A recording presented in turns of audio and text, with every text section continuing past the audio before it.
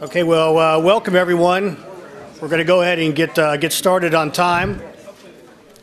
Hopefully, everyone has got uh, something to eat and a beverage in front of them. We've got a uh, great conference today on a very uh, interesting, fascinating, and important topic. Uh, my name is Rick Ozzie Nelson. I'm Director of the Homeland Security and Counterterrorism Program here at CSIS. Um, we're a nonprofit at CSIS, so we're really dependent upon outside supporters to make um, terrific events like this happen. So the first thing I need to do is uh, to thank our sponsor for today's event is uh, Raytheon. Um, and with that, I'd like to introduce um, the, one of our uh, the senior, the Vice President for Homeland Security, Brian Seagraves. He's going to come up here and introduce um, our, our, special guest, uh, Mr. Howard Schmidt, Special Assistant to the President for Cyber. Um, he's on a very tight timeline. We're absolutely thrilled that he made time in his schedule to come over here and give us some remarks. He's going to do about 20 minutes of remarks, followed by about 10 minutes of questions and answers, moderated by me. And those of you that know me means it's questions only, no statements. So without further ado, I'm going to go ahead and introduce Brian Segraves. We'll introduce uh, Howard. Thank you. But I get to make a statement first. So first, thank you, uh, CSIS, for hosting this event, and uh, we're very pleased to work with CSIS as an industry partner in giving visibility to the topic of identity management today. Raytheon works with civil security agencies around the world to address their mission challenges, and management of identity, the credentials and access is a core enabler that spans across all the security missions that we help customers with border security, immigration control, critical infrastructure protection, you name it. And while we're out there around the world, we're amazed at the functionality that other countries are offering their citizens. For example, single national identity credentials that authenticate for financial services, health services, voting, electronic uh, voting, driver's licenses, uh, and even uh, physical and log logical access uh, within government agencies, all on the same credential. And yet across our base, we also see customers confronting a number of overlapping challenges. Challenges in how agencies move to interoperability and a person-centric view from their legacy systems. Challenges taking advantage of advances in biometrics technology and addressing the um, overload of biometric systems, and doing all these things while protecting privacy and confidentiality. These challenges are compounded in the cyber arena, and the WikiLeaks incident actually really underscores uh, the importance of strong identity management and insider monitoring as a precondition to information sharing. And then there is our need to foster trusted identity in cyberspace. As a core member of the defense industrial base, Raytheon believes that the way the DIB address federated identity authentication provides a model that can address many of the broader challenges that we have today. We believe all these challenges can best be addressed through a partnership between government and industry where both critical systems and critical know-how reside. And that's why the United States is fortunate to have someone that, who has had such a long and distinguished career in both government and industry now coordinating cyber policy, cybersecurity efforts for the White House. Howard Schmidt has had a distinguished career spanning more than 40 years in defense, law enforcement, and corporate security. Since 2009, he has served as the President's coordinator for cybersecurity, and he's a, a long-standing expert in the areas of computer security, cybercrime, critical infrastructure protection, and business risks related to cybersecurity. Mr. Schmidt was formerly the President and CEO of Information Security Forum, a nonprofit consortium that conducts research and develops best practices in information security, risk management, and critical infrastructure protection. He has held executive roles in the private sector, including Vice President and CISO at eBay and Chief Security Officer for Microsoft. Mr. Schmidt's government service has included previous assignments at the White House, the FBI, the Air Force Office of Special Investigations, including tours as supervisory special agent, supervisory special agent and director of the Computer Forensics Lab and Computer Crime and Information Warfare Division. His military career includes active duties with the U.S. Air Force, with the Arizona Air National Guard as a computer and communications specialist, and in the U.S. Army Reserve as a special agent, criminal investigative division, where until his retirement he served with the Computer Crime Investigations Unit. Mr. Schmidt is professor of research at Idaho State University, adjunct professor at Georgia Tech Information Security Center, adjunct distinguished fellow with Carnegie Mellon CyLab, and a Distinguished Fellow at, of the Ponemon Privacy Institute. He's also received numerous awards and recognitions from government and private industry, including the CSO Magazine Compass Award and Baseline Magazine's 50 Most Influential People in Business IT, to just name a few. Ladies and gentlemen, please welcome Howard Schmidt.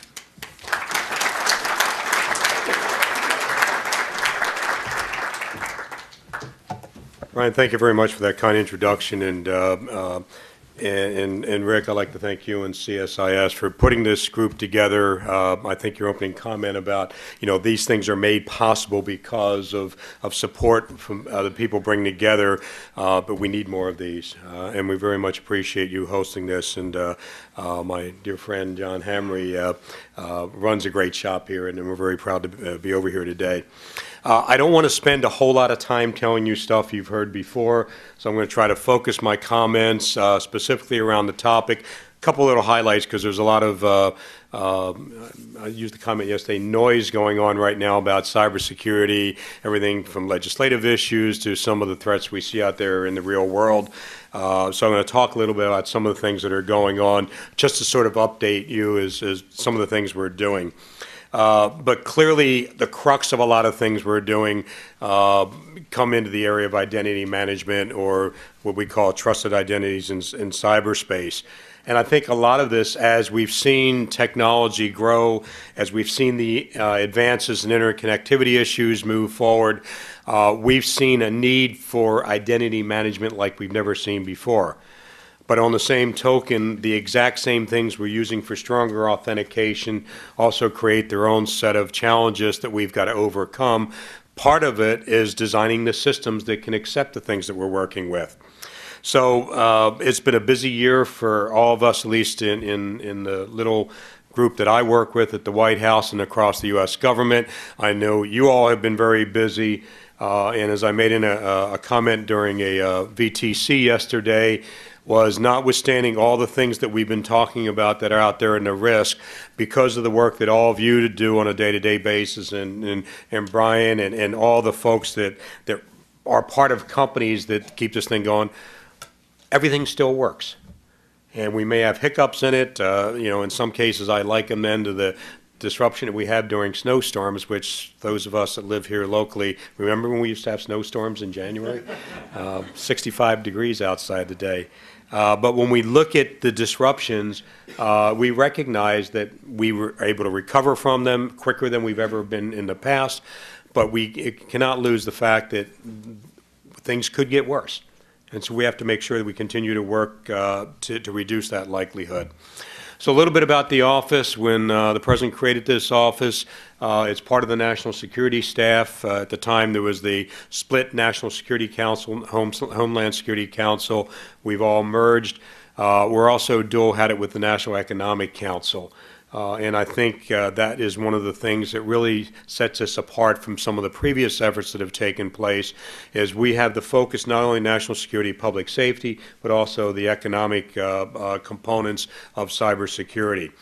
Uh, the staff, and uh, we are very, very fortunate to have some of the best across government, from the Department of Justice, Homeland Security, uh, the intelligence agencies, Department of Commerce, FTC, that help us work on individual problems as we move forward, develop the good policy, work with the departments and agencies to take very discrete views that departments and agencies have. Uh, as we were talking before we came in here, there's a lot of uh, uh, herding of cats involved. And some would say, geez, isn't there a tension between this particular department and this one over here? And the answer is, yes, I hope so. Uh, we do want to hear what their expertise is. We want to hear how they deal with a specific issue. But we want to normalize it so we can come up with a good policy that takes into account all the, uh, the components that we work with. And we've got a good team to pull that together. Uh, For those of you that uh, listened to or watched the State of the Union speech last week, uh, the President stated very clearly that the executive branch and uh, the White House is focused on achieving these strategic initiatives, particularly with the proposed legislation uh, that we put forth, that Congress uh, will be putting a lot of attention here in the next week or two back. Uh, We've also done a pretty good job, I think, of actually prioritizing things.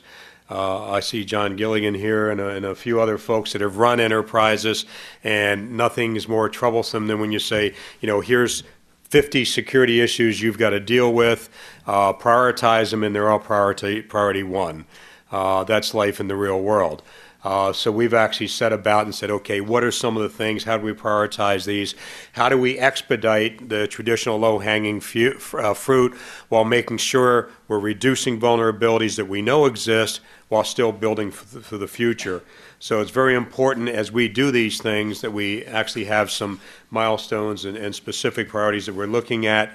And in this venue today, of course, the thing that we'll be talking about is the uh, effective identity management and all the things we can benefit from that. Um, You know, I could spend some time talking about the threats out there. Uh, People talk about hacktivists, nation states, uh, uh, criminal organizations, and everything else. The bottom line is, if we had less vulnerabilities, they would be less successful. Uh, When I look at the law enforcement community, when I look at the men and women that on a day-to-day basis have to manage these systems from a security perspective, provide the services, whether it's government or businesses, um, and the things that they have to deal with, clearly, we'd like to take a whole lot of that off their shoulders by saying, we can stop the threats out there. But I think anybody who's been in this business for any length of time know, we- we're not going to be able to stop the threats. Uh, We'll be able to get some, some small chunks of successes, as we've seen with the law enforcement going after some of the criminal activities that uh, control some of the bot networks, working very closely with private sector, using civil actions, using criminal actions. But clearly, oftentimes we see another group will pop up to replace them.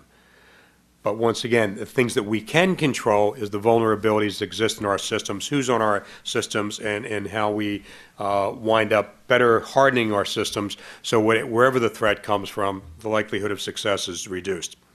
So zero in a little bit, uh, I want to just take a few minutes to talk about the NSTIC, the National Strategy for Trusted Identities in Cyberspace. Jeremy, I saw you walk in, there you are. Jeremy uh, came in a few minutes ago. We were very fortunate to lure him away to run our program office at Department of Commerce on that. Um, When we rolled this out uh, at the U.S. Chamber of Commerce last year, it was a true testament to the amount of support we had on this. We had the President's National Economic Advisor, we had one of the uh, uh, most informed and vocal senators, Senator Mikulski, as part of it. We had the Chamber hosting us for us, so clearly a recognition, there's a lot of moving parts to this trusted identities in cyberspace. The basic vi- vision is to build an identity ecosystem that provides individual with an option of using a federated, user-centric digital credential to conduct transactions with more security. Simply stated is, we have a choice. If I want to just do a small transaction, I can choose to use one identity over here. If I have something more robust, I have the ability, and also the institution I'm working with has the capability, providing me the ability to have a higher level of assurance. To move away, what I think all of us recognize, the static user ID and passwords uh, should have been declared dead years ago. Uh, matter of fact, I remember another CSIS event, probably in about 2001, that we had that same discussion. And here we are, almost 11 year, 11 years later, uh, and I think we're finally making progress on this. We're finally having a mechanism to move this forward. But the other thing it wants to do is we want the private sector to give us the capabilities to be able to draw on a marketplace of identity providers, both public and private, to say, here's the choices you have. I was trying to explain to someone what a OTP, one-time password, was on a mobile device. They understood what we call a smart card because it, you know, it resembles an ATM card. So they said, well, uh, why would I use something that I don't know about when I have this card here thing that I can use? And that's the thing we're trying to do, is provide options for people. But on the same token, in these options, we want to make sure we're not sort of reliving the, the, the problems we had in the past. Pin and chip technology, great technology. But people have since figured out how to break uh, some of the encryption on there. They've looked for the man-in-the-middle attacks. So we know that now. So we should not saying, okay, the answer is here's new pin and chip cards, and everybody go out and use these because they're different than what we've been doing. We have to build these things with the ability to say, here's what we've done to make these better than what they are now. To understand there's likely to be a man-in-the-middle attacks. To understand you're likely to be operating from a, system, a computer system, at least for now, that's likely to be compromised. And how can we still operate in that environment? And that's not something you're going to get five people in the government say, yeah, well, here's the answers, go forth and do this. It's going to take the intellectual capital that we have in the private sector, in the security community, in the VC community, entrepreneurs coming and say, here's a better way to do this that's easy to use, cost effective, and gives us options. The next thing is looking at that interoperable uh, framework. That's why it's very important. That we've got Commerce and, and NIST working with private sector saying, what are the standards that we're looking at? Had a, um meeting this morning with one of our international, uh, my, my international counterpart, and we were talking about trusted identities and what they're re- wrestling with at their government. Everything from taxing to services they provide for health services. Basically, the same thing we're doing. And when you look at some of the, the great advances we've made, and we still have a long way to go, is what VA does now with the big blue button. button. You know, the ability to consolidate this stuff. One of the things that uh, I probably shouldn't say, but I do, is uh, just before the, uh, the, the lighting ceremony in uh, uh, the Ellipse last year, there was an email that went out that says any of us, we can put in for this lottery to actually be there on the grounds when the lights get turned on.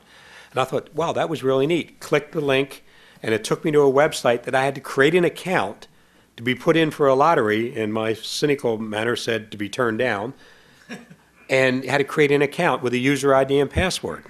And the good news is, next year I can use that same account if I remember the user ID and password. Uh, because as a security professional, we tell people do not reuse these things over and over again. So I try to stick to that as much as I can. Not perfect, but as much as I can. So I'll never remember that next year. So we need to have a mechanism with a framework that's interoperable. We, as a matter of fact, we just released released a uh, memo from uh, uh, the O- OMB and, and my office telling government agencies, stop creating these accounts, stop trying to manage this, stop being the help desk for every citizen in the world, use outside credentials. They exist. And we have the General Service Administration, or GSA, working with NIST and work, working with Homeland Security to make sure that these are ones that we can use. So you shouldn't have to have, in, in the case of some of us, a half a dozen or so government logs-ons to find out what your VA benefits are, or to get, find out what your tax uh, liability is, or what your social security benefits are. We have other options to do that, in varying degrees of, of assurance as we move through that. So in, in- from the government's perspective on this, we will be a facilitator. We'll bring the people together. We can help convene a lot of these things, but the government will also be a customer of these. Uh, and I think there's nothing better than having some identity that I use in an e-commerce environment. I can use that, that same environment in the government. So as a consumer, the government is very important as saying, you build it and we'll use it as well. And we have to actually put our money where our mouth is. And I know, Jeremy, we made sure that the funding is there to actually do some of these things that we need to do. The other piece is when we uh, uh, are looking to streamline, streamline the, cu- the customer experience. I mean, that's tremendously frustrating. Private sector has spent a lot of time and a lot of effort trying to make sure the user experience is as positive as possible. It's a business thing. They want you to come back as a customer, and quite honestly, if they give me a good experience, I'll be back, whether it's an airline, hotel, whatever it will be. But the bottom line is we have to have a mechanism to do the same thing in the government, and that's what the government's looking to do. The other thing we need to do is set up a governance framework. Um, Once again, the comment we had this morning, we were still, in some cases, running around with 18th century laws and 21st century technology. So when it looks to identity management, we look to the private sector to build this, but how do we wind up dealing with some of the things that just are normal uh, part of business? A company may be our service provider. For whatever reason, they go out of business, uh, they take a wrong turn somewhere, and how do we protect people against that? What is the governance mechanism in place that says, okay, company's out of business and their, their uh, uh, value in their company is the data that they've got about us? How do we deal with that? We've seen that a couple years ago with one of the uh, Trusted Traveler programs. We saw it even a few years back with a, uh, uh, a child's website that had tremendous amount of information. It went up in, in receivership, and the bankruptcy court says, yeah, the only value you have is this information, all these children. That we as parents, as grandparents say, "Mm, we don't want that being sold off to the highest bidder. So these are some of the things that we have to build in this identity ecosystem to better protect us. Because we don't want to have someone go out there with 99.9% legitimate businesses out there, and at point one it says, hey, it's a good way to commit identity theft and credit card fraud. Open up a company, collect all this stuff, you know, take advantage of all these people, then shutter my doors and move away. We have to have a mechanism in place to be able to deal with that. We also want to make sure we have a system that does not have sort of this, you know, one-size-fits-all identity. Uh, One of the criticisms many of us have had for a long time is I have a single, single log on that gives me access to everything in the world. That means if and when it gets compromised, everything I own and everything I have access to is then compromised. And that's a choice that we get to make, and that's a choice that we have to have the system designed and built to, to have to deal with. So when we look at some of the things we're looking to solve, first and foremost, deal with some of the issues of cybercrime, uh, online identity theft, financial fraud, online theft of intellectual property, uh, all these things that we deal with, we're looking to solve some of those things. We've seen, uh, while a lot of people may call these things advanced persistent threats, some of us don't think they're that advanced. We think they're very determined, but when you look at the sort of the analysis of how these things really happen, oftentimes starting with a spear phishing email or a phishing email with a piece of malware attached that then gives you a backdoor to uh, find vulnerabilities and escalate privilege, that's pretty determined.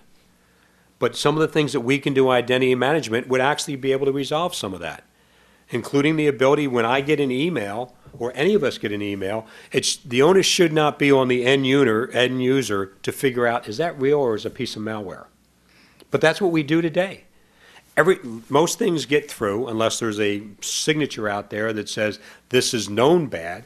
It goes through and somebody says, "Yeah, this is my 2012 benefits, pay raise, uh, you know, holiday schedule," and you can bet most people will will click on it. We've seen some states that have tried some pilots where they send emails out as part of an education system. And 86% of the people click on it because it appears to be legitimate, even though they sent it from an outside email address good identity management should resolve that problem for us so the end user is never confronted with this.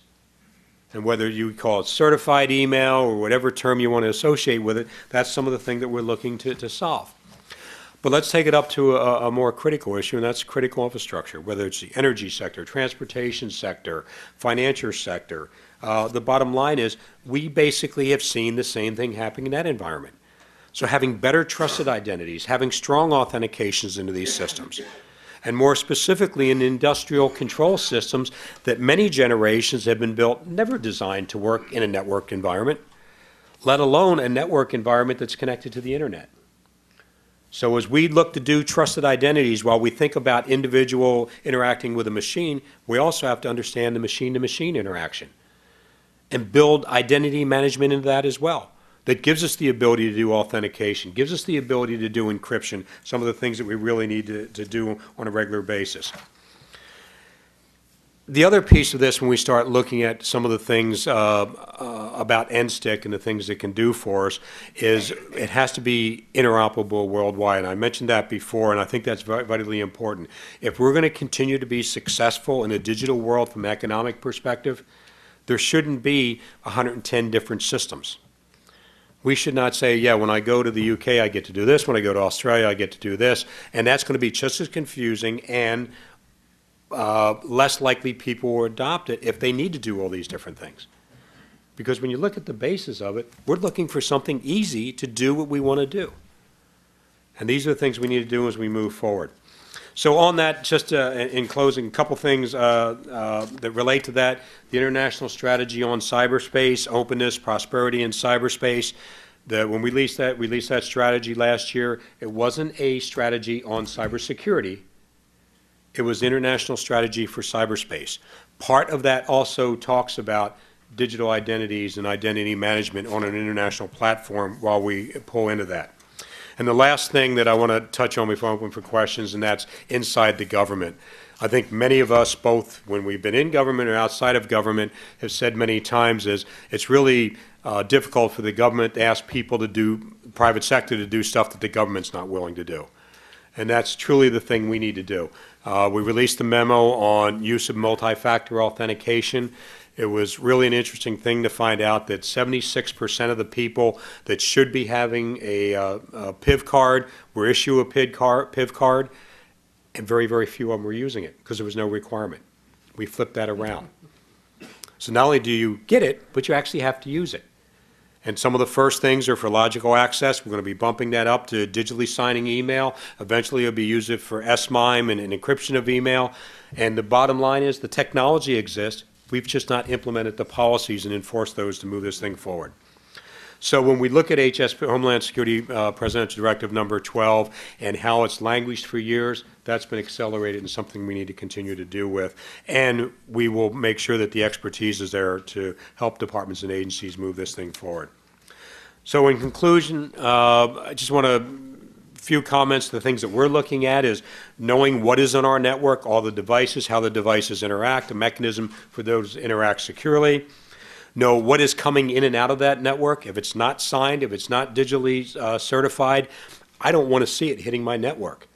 Or I want to have some mechanism to sandbox. I want to have some mechanism to make sure that we're not introducing risk into the network that we shouldn't be. And of course, knowing who's on the network to the level required for the business that we're going to transact. And that goes from total anonymous access, just somebody to finding out uh, what government services are available, all the way up to and including something that's more robust that says, this is really me, I've done perf- pers- uh, proofing somewhere, and I can actually go out and say, this is me, and I need my VA records. So with that, I, I thank all of you for coming together. I think this is a really good forum to discuss the things, and I know Jeremy's here, and I'm sure Jeremy would love, as the rest of us would, to hear your ideas on things that we can move to accelerate this, because we've got a window to make this happen, and we don't want to be discussing this again in 11 years from now. So thank you very much for the opportunity to discuss this with you. Thank you.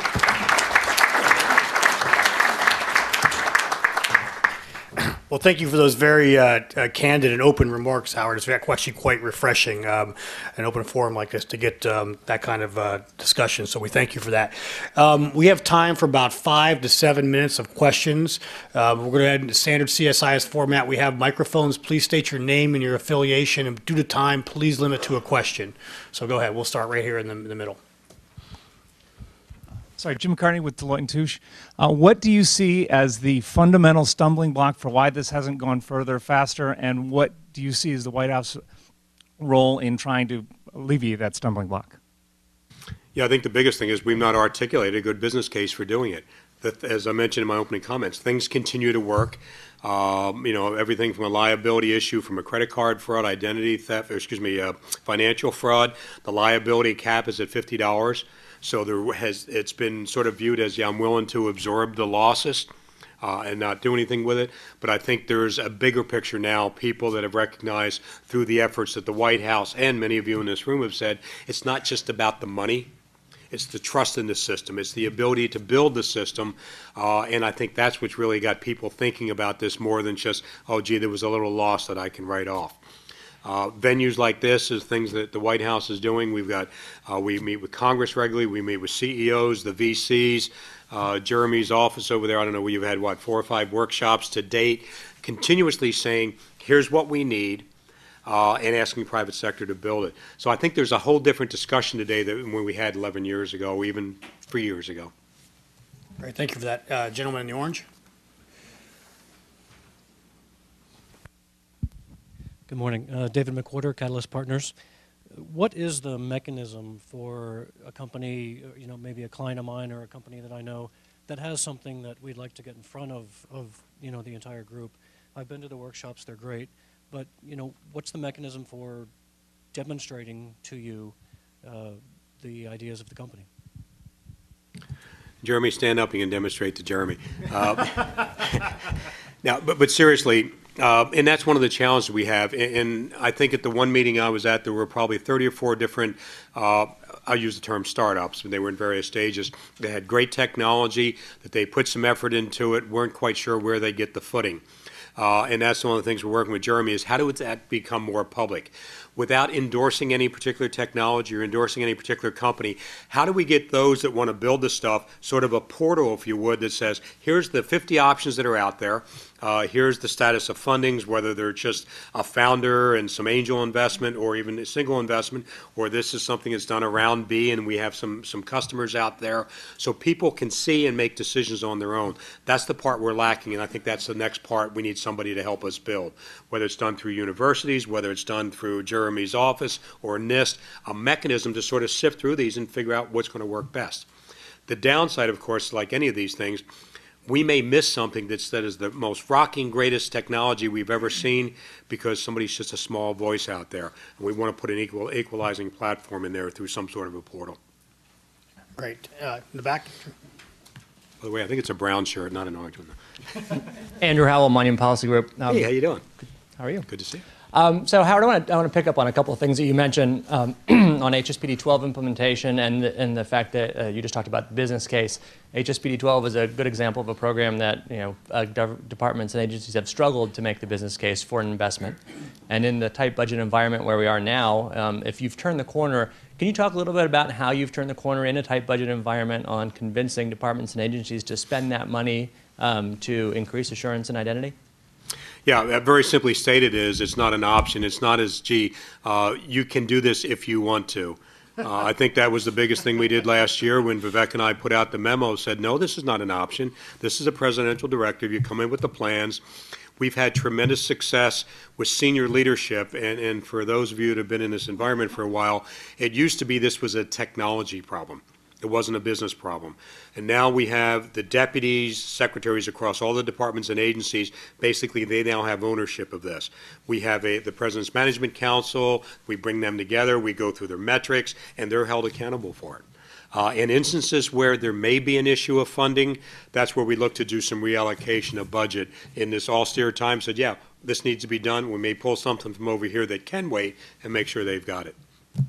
Okay, great. Last question. We'll go uh, in, right there.